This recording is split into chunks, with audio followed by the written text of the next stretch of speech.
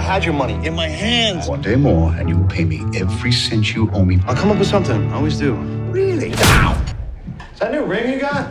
Feels like a new ring. This is a big score. We don't know exactly how much money's in that safe, but I can't tell without you. So what's the plan?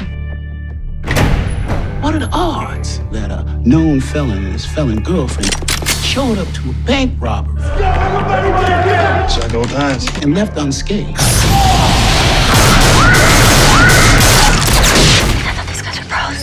Number one, we're not technically felons. And B, uh, she's not really my girlfriend. Where to? Home. Separate homes. Jason, what happened to you? I committed the worst sin there is. Adultery. Or no, no, no, not that bad. Murder. You are too stupid to even realize how much trouble you're really in, aren't you? Uh, no. Off the car, man!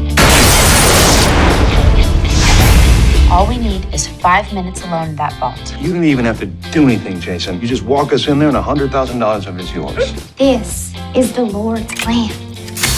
Go rob that bank for the Lord.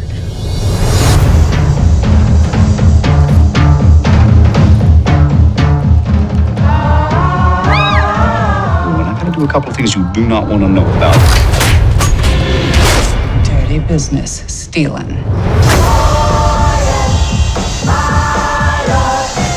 Die to save June? Uh, if I don't have to, why, why we? Would you die to save June? Yes, yes!